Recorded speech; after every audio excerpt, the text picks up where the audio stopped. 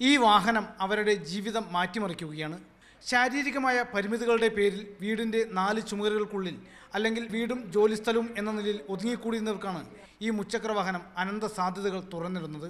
മുപ്പത്തിയൊൻപത് പുരുഷന്മാർക്കും ഒൻപത് സ്ത്രീകൾക്കുമാണ് Palakkad M L A Shafi Parambil തന്റെ ആസ്തി വികസന ഫണ്ട് ഉപയോഗിച്ച് മുച്ചക്ര വാഹനം നൽകിയത്.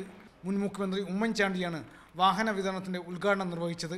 ഇവിടെ മുച്ചക്ര കൊടുക്കുക മാത്രമല്ല ഈ രംഗത്തെ എല്ലാ പ്രശ്നങ്ങളെക്കുറിച്ചും അദ്ദേഹം തികച്ചും ബോധവാനാണ്.